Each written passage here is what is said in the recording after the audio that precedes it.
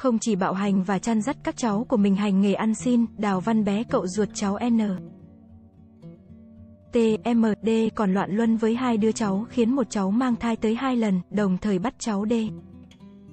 Và các em gọi đờ T, H chị gái cháu D, bằng mở, sáng 4 tháng 9, cơ quan cảnh sát điều tra công an H. Xuyên Mộc bà Diệp Vũng Tàu đã mời bà nội và năm chị em D từ xã Xuân Bảo, Hát Cẩm Mỹ, Đồng Nai đến trụ sở để làm việc ghi nhận lại lời khai của D. Và các em mình đủ trò hành hạ tại buổi làm việc với cơ quan cảnh sát điều tra công an Hát Xuyên Mộc có bà nội D. Làm người giám hộ PV, D kể lại toàn bộ sự việc của mình và các em bị mẹ và cậu ruột là Đào Văn bé hành hạ, đánh đập chăn dắt đi ăn xin. D cho hay những ngày D hoặc em Tia bị ốm, Đào thị gái chỉ cho nghỉ ở nhà một ngày rồi sau đó lại bắt đi xin tiếp. Khi D đi xin, được người ta cho đồ ăn thì D chỉ ăn một phần, phần còn lại phải giấu vào túi để lén mang về cho những đứa em ở nhà. Nếu không giấu sẽ bị mẹ và cậu lấy mất để ép cháu D và Tia đi ăn xin, người cậu tàn nhẫn đào văn bé đã dùng vợt mũi tháo phần vợt rồi gắn cây sắt vào thành cây trích điện. Mỗi lần mẹ gái yêu cầu là cậu bé lại trích điện con và em Tia, mẹ nói trích bao nhiêu là cậu trích bấy nhiêu, trích ít nhất là ba lần vào lưng và cổ D. Nói và ẩn ực nước mắt khóc cậu còn bắt con giết núi to lắm, rồi cho trích vào chân con bắt hôm sau phải đi xin cho cậu với mẹ. Chân con bị đau nhức đi không nổi nhưng vẫn phải đi, vì con phải cõng em đi xin. Còn cháu Tia, thẳng thốt nói, cậu lấy cọng dây điện của ấm nấu nước sôi để đánh, cậu đánh con gãy răng rồi đánh bầm tím cổ, đánh bầm cả lưng. Cháu gái mang bầu với cậu theo đê mẹ đến trường bắt đê nghỉ học và đưa về khu vực nhà trọ ở ti ti Phước Bửu, Hát, Xuyên Mộc, bà Diệp Vũng Tàu, để ở cùng cậu và các em, tại đây còn có đờ. T, hát lúc này mới 13 tuổi PV, là chị cùng mẹ khác cha của D, và cũng gọi bé là cậu. Ở chung một thời gian, DTH luôn được bé chăm sóc chu đáo, không lâu sau, bé làm chuyện động trời với cháu ruột đờ.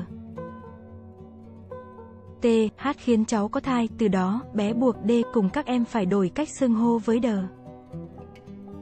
TH cậu bé bảo con và các em không được gọi chị đờ là chị nữa mà phải gọi bằng mở, vì chị đang mang bầu, là con của cậu.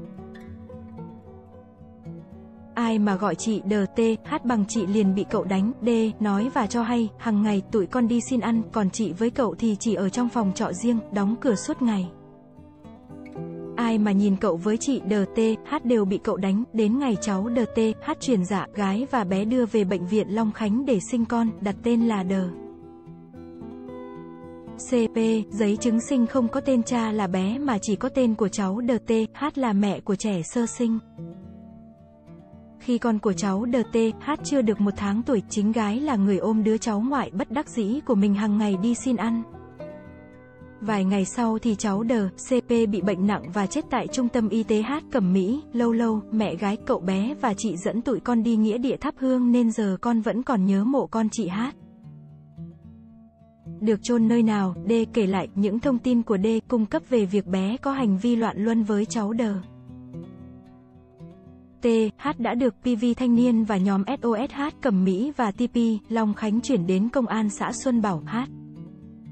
Cẩm Mỹ, để xác minh, ngày 27 tháng 8, khi bé, gái cùng DTH về xã Xuân Bảo để bắt cháu D và T tiếp tục đi ăn xin thì bị công an xã Xuân Bảo mời về làm việc tại trụ sở công an, bé và gái khai nhận hành vi đánh đập D. Cùng các em của D, để bắt đi ăn xin, ngoài ra, bé cũng thừa nhận hành vi loạn luân với cháu đờ. TH ngoài việc sinh ra cháu đờ, CP, đờ TH đang có thai 4 tháng với bé, ngoài ra, bé còn khai nhận đã quan hệ tình dục với chị ruột của đờ.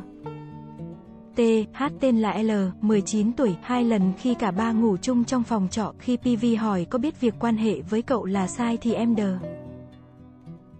T, H nói cậu và con ở riêng một phòng, mẹ và các em ở phòng khác, ở phòng trọ chật, hàng ngày cậu cứ khều khều và ôm nên con đành chịu vậy, đờ.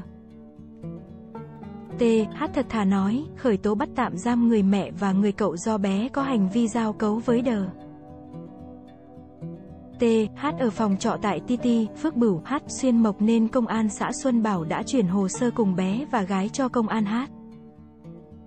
Xuyên Mộc điều tra theo thẩm quyền, trong đêm 27 tháng 8, công an H. Xuyên Mộc đã tiếp nhận gái và bé từ công an xã Xuân Bảo để điều tra. Trả lời thanh niên, ngày 4 tháng 9, một lãnh đạo công an H. Xuyên Mộc cho biết tại cơ quan điều tra, gái và bé đã khai nhận các hành vi phạm tội của mình. Công an H. Xuyên Mộc đã khởi tố vụ án, khởi tố bị can và thực hiện lệnh bắt tạm giam 4 tháng đối với Đào Văn Bé để điều tra làm rõ về hành vi giao cấu hoặc thực hiện hành vi quan hệ tình dục với người từ đủ 13 tuổi đến dưới 16 tuổi và hành vi ngược đãi hoặc hành hạ cháu. Bị can Đào Thị Gái, 38 tuổi cũng bị công an H. Xuyên Mộc bắt tạm giam 2 tháng để điều tra làm rõ về hành vi ngược đãi hoặc hành hạ con ruột của mình.